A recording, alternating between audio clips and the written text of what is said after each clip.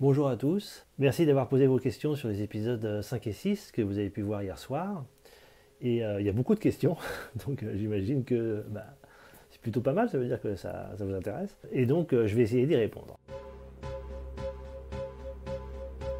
Les personnages les plus difficiles à développer, c'est probablement bah, Malotru, et puis Mille d'une certaine manière. Alors pourquoi? Eh ben Parce que en fait d'abord le Manotu parce que c'est le personnage principal. Le personnage principal, il, faut vraiment le soigner. Ce qui était long à trouver pour l'un et pour l'autre, c'est leur problématique. Et c'est ce qu'il y a de plus important quand on écrit qu'on développe un personnage. Le plus important, en fait, c'est la question c'est quoi son problème? Euh, Car son caractère ou même son métier, euh, bon, ça, c'est pas ultra compliqué à trouver. Euh, on, connaît un peu euh, les trucs pour faire en sorte que le personnage soit touchant, attachant. Enfin, ça, c'est un peu. Euh, qu'un personnage soit attachant, c'est pas évident. Mais c'est justement, c'est lié aussi à son problème. Et ça, c'est quelque chose qu'il faut bien travailler.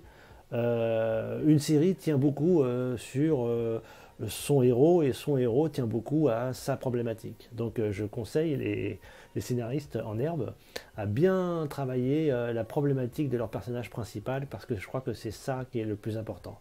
Car son problème, c'est le nôtre.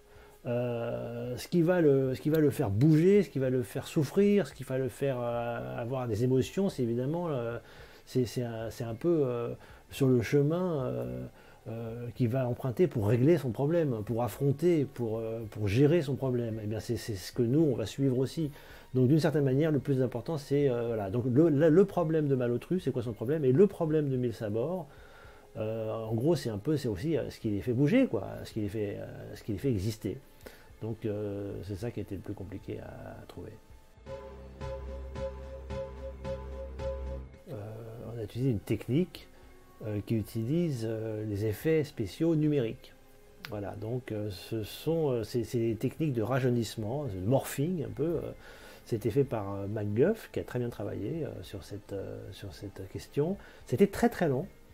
Il a fallu monter très vite les scènes qui allaient être truquées, donc les scènes de l'épisode 6. Et dès le mois d'octobre, on a, on, a, on a dû terminer le montage de l'épisode 6, en tous les cas de toutes ces scènes-là car il a fallu ensuite les livrer euh, à la boîte de trucage, à MacGuff, et ils ont mis beaucoup de temps, car c'était très très long à, travailler, euh, chaque détail, euh, enlever, disons, un tout petit peu, réduire le visage, évidemment, enlever les, rides, enlever les marques. les yeux, le, contour des yeux est, très compliqué. Alors c'était quelque chose qui a été fait dans le film de Scorsese, hein, qui s'appelle The Irishman. Mais le problème, c'est qu'ils avaient plus de difficultés, car évidemment, De Niro et Pacino étaient beaucoup plus vieux que, euh, Amalric euh, et euh, Alexis Gorbunov. Donc, on avait un peu moins de, de, de, gap à combler.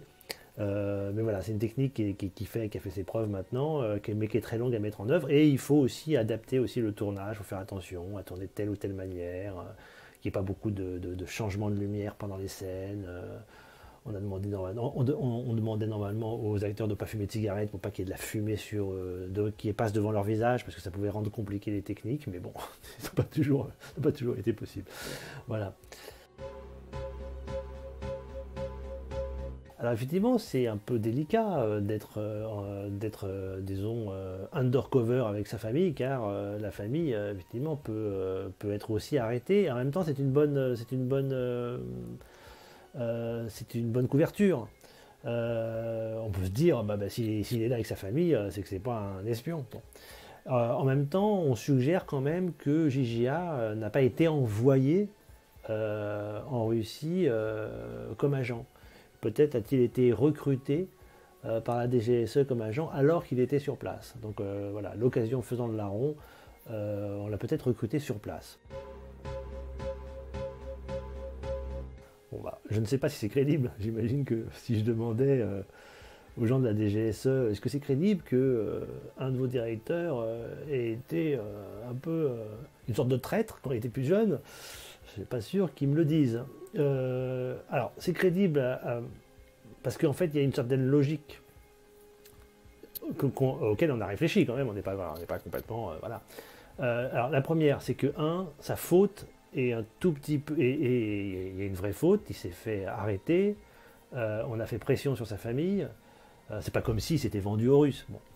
Euh, et en plus, euh, ce que dit son supérieur, c'est qu'il a plutôt préservé les agents et il a sacrifié les sources. C'est salaud. Enfin bon, voilà, il y a une sorte de hiérarchie à, faire. Euh, ça, c'est une chose. Donc, on ne peut pas lui en vouloir complètement de finalement avoir cédé à la pression. Bon. D'autant plus qu'il a sauvé son supérieur. Il l'a prévenu et il a été ensuite, du coup, il a fait plus de deux ans de prison.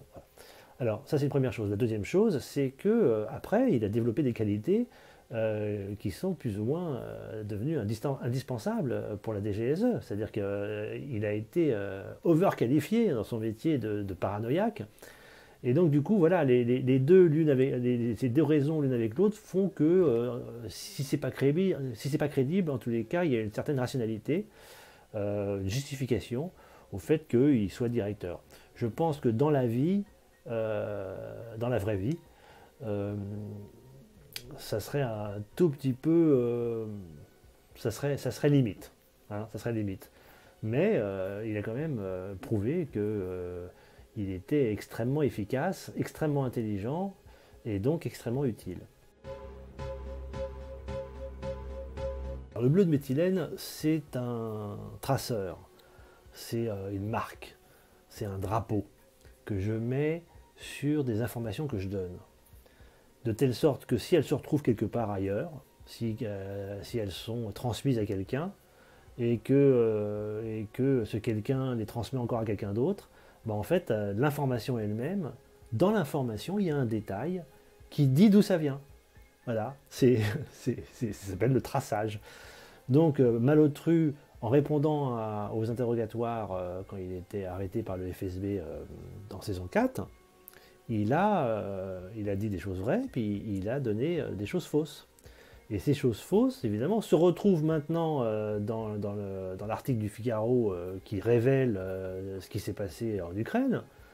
Et, donc, ces choses fausses, en fait, elles, pointent vers, vers la source de, des informations, puisque ces choses fausses, c'est Malotru qui les a données aux Russes.